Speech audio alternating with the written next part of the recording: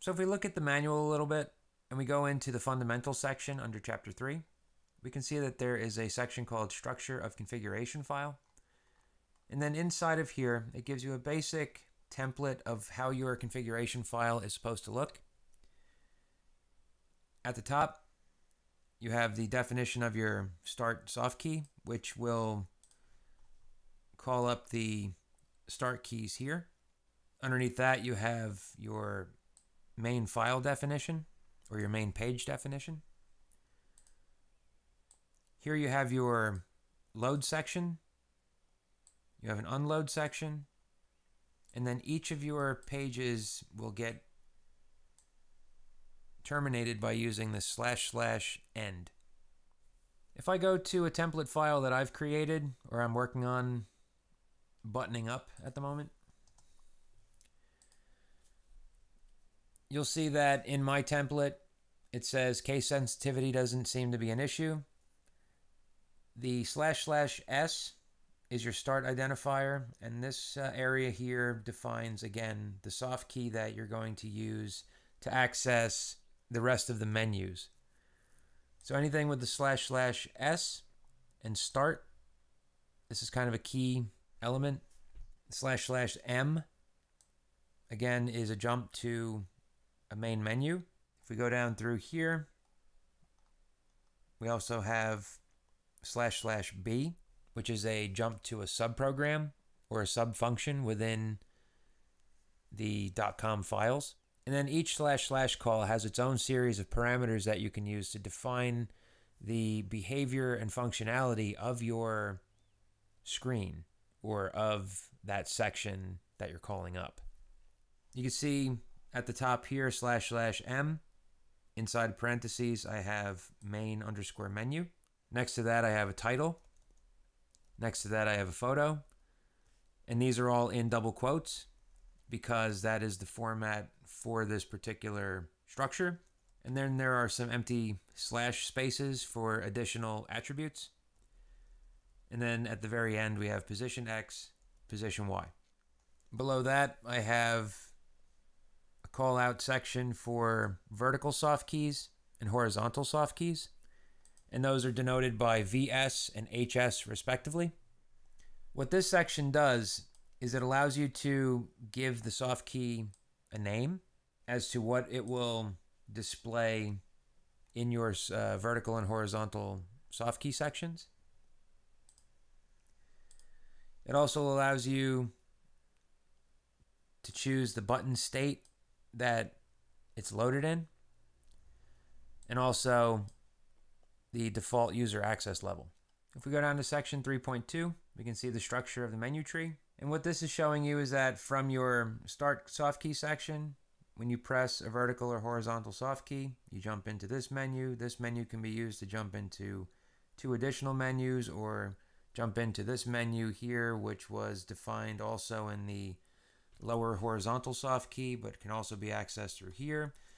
This soft key can drop down to this menu. It could go back to this menu. So you can bounce around between the screens because they are interlinked and you can jump to whichever one you want depending on which horizontal and vertical soft key you have and then what is defined under your press condition for each key. The reason why I have three .com files is because I found that there was a little bit of a limitation where when I tried to load multiple dot .com files through the INI file, I personally couldn't figure out how to get multiple soft keys to pop up with multiple dot .coms in the dot .ini file. But then I found that you can use multiple soft key calls in the slash slash s start section to jump into different .com files, but I didn't want to have one .com file that had a bunch of page structure underneath it used to jump into other pages. I wanted to have one master file that was dedicated strictly to my main menu soft keys and then sub out to the .com files from there. Because the slash slash s section of the .com file is an optional call. So a little bit about defining soft keys. Section 3.3 has information on defining start soft keys. The start soft keys are dialog independent soft keys which are not called from a dialog but which have been configured before the first new dialog. So what that means is that if you have a start identifier with slash slash s and then in parentheses start, whenever your software sees this section right here, it will know to call up the soft keys you have defined in that section. So we can see right here, this template.com has slash slash s start hs1 and then in quotes inside of the parentheses menu name which will define the words that get printed onto the soft key in this case horizontal soft key number one underneath that is a press element which says that when you press hs1 lm which is load main page will load up a page titled main menu which means that in this case of template, it looks at this and it finds it right here under the slash slash m. If we look at bottomup.com, we'll see that we don't have the start section at the top because that is handled by the soft key master. So in my case, my start key master says that horizontal soft key 9 10, and 11 will display probing, test, and angle head. The button actions and user access are optional. There are default settings that are used. So in this case, I don't have any additional attributes. I just have a name for the soft key. But in this case here, I do. When I press horizontal soft key 9, it goes down to this press section for horizontal soft key 9. It loads a menu from bottomup.com called main menu. When I go to bottomup.com, we'll see that I have my slash slash M section here called main menu. And then from there, I have a header called measure bottom up. I have a graphic that gets called up, which is bottomup.png. And next to that, I have a bunch of dimensions for the size and location of that menu. This is what denotes that I'm going to load it into this little section of screen right here. Next to that, I have a system or user variable that I can tie this menu call to. And then after that, I have the graphic position of this bottomup.png. And then if I put another slash here, I could also add additional attributes to the menu. So going back to Softkey Master, we can see that HS10 will do pretty much the same thing. It'll load the menu or load the mask. It'll jump to the calculator section of calculator.com. Because in calculator.com, my slash slash M section is called calculator. So once you get past the start section, your main or mask sections can get named whatever you want, and you just link to them inside of the press call with the lm command and the .com file and tell it which slash slash m section to jump to. Each of your menu screens will have soft key definition section. It will have a press section for the actions that get taken whenever you press each of the keys that you've defined. You also have a section where you can define both internal and external variables. Internal variables, or helper variables as they refer to them as, do not have any kind of attribute values. They're just internal variables that you use to assist you with calculations or storing of information that comes in via your input variables or your external variables. Like in the case of down here, I'm storing a variable called output string which is defined up here.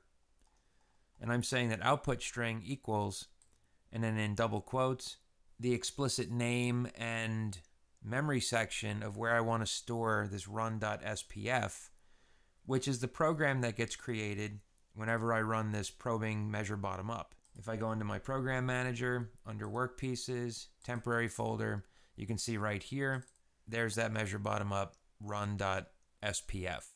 So there are some sections in the fundamentals that point to permissible positions for start soft keys. And going back to what I was saying with the slash slash s start section of your .com file, I haven't found this to make much sense to me because I can put horizontal soft keys pretty much anywhere I want depending on where I have them in my HS or VS callout. I did find that vertical soft keys are a little trickier to get to work, so I just stick with the horizontal. But as an example, on machine menu here, you can actually define three pages of horizontal soft keys. So you have page one, page two, and then page three would pop up as another little white rectangle here if you defined any of these keys as something beyond the scope of the soft keys that were at the bottom of the second page. So if we count these, we got one, two, three, four, five, six, seven, eight.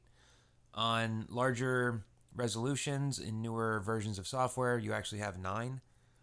But then when you press the arrow key, you get, in this case, 9 through 16. And then you would subsequently get 17, 18, 19, 20, 21, 22, 23, and 24. I found that in Program Manager, if you try to define more than two pages, the software will bomb out. So it is pretty subjective to which screen you're loading it into, how many soft key menus you'll get. But one thing that I did find is that there is another subsection under Measure Tool and I think there may be one under Measure Workpiece. I just can't find the syntax for it. But under Measure Tool, if I had these three soft keys defined, and I had any menu selected uh, other than Measure Tool, I would see the three soft keys. But when I go to Measure Tool, I wouldn't see the soft keys, or I would see them only under the Measure Tool menu, which is something that I discovered going through some of the .com files that were created for the uh, Blum laser measurement system. To show you that, I'll enable this start file area machine, and the screen is going to be called SLMA jog ME tool range screen, and that's still going to load softkeymaster.com. You'll see right here I get probing, test, and angle head under measure tool right shift. But if I go to measure workpiece, right shift, you don't see them. If I go TSM, which is completely out of measure workpiece and measure tool, right shift, you don't see them. Measure tool, right shift, there they are. So you're not limited to just the two extra pages of soft keys. You can actually define, at least under measure tool, until I figure out how to do it under Measure Workpiece. You can define the soft keys that you need here,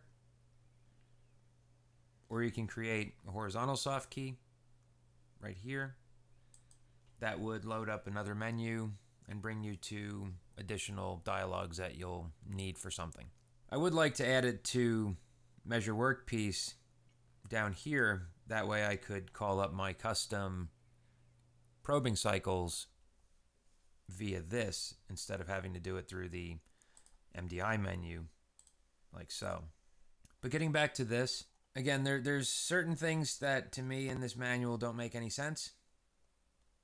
But these may be something different other than what they're referring to because if you do a search for HSK6, it'll bring you down to another table that shows you available sections under like ShopMill and things like that. So there, there's something about this that doesn't quite make sense to me, considering the fact that I could put start keys anywhere I want, essentially. There's also this menu attribute that I'm not familiar with as of yet, but it says here as an example, separate start soft key menus can be defined for horizontal and vertical menus. The menu attribute is used for this purpose.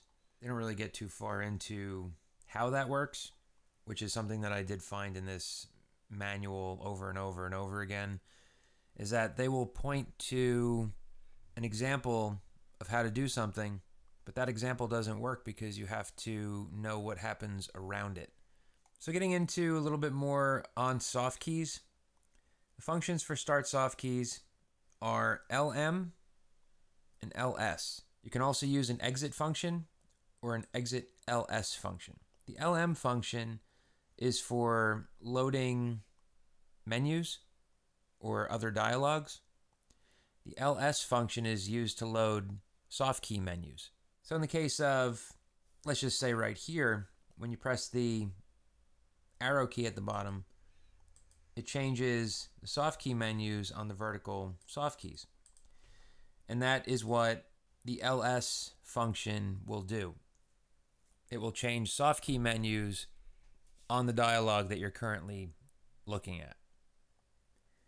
Whereas the LM will load an entirely new menu. This exit function and this exit ls function are internal functions to the system. So when you press a button that's referred to as an exit, it will completely exit out of the easy screens. And the exit ls will exit out of the current screen, but it'll also load a defined soft key menu. So if you want to exit out of, say, this probing dialog, if this exit button were tied to an exit ls section or command, I can have it load different vertical and horizontal soft keys than what you see as a default. In section 3.4, they talk about the logbook, which again is the section called EasyScreen underscore log.txt,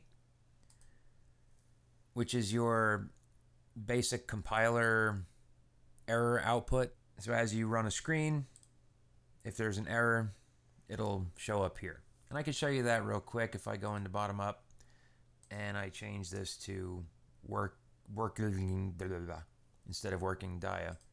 If I load that probing screen, if I go back to this log, you'll see that there's an error in a variable. There's an invalid address or toggle array or invalid value.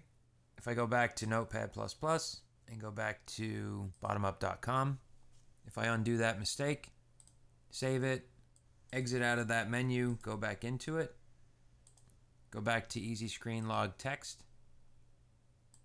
you'll see that the error message goes away. So that's useful for troubleshooting, but it doesn't really give you an exact error as to what happened. It just kind of gives you a roundabout, hey, you messed up somewhere. You better go and double check your syntax. So I find that make minor changes, save, test, check your log. Don't make major changes because you'll find yourself having to undo a million steps before you get to the one that really boogered you up. So do everything incrementally and then save, save, save.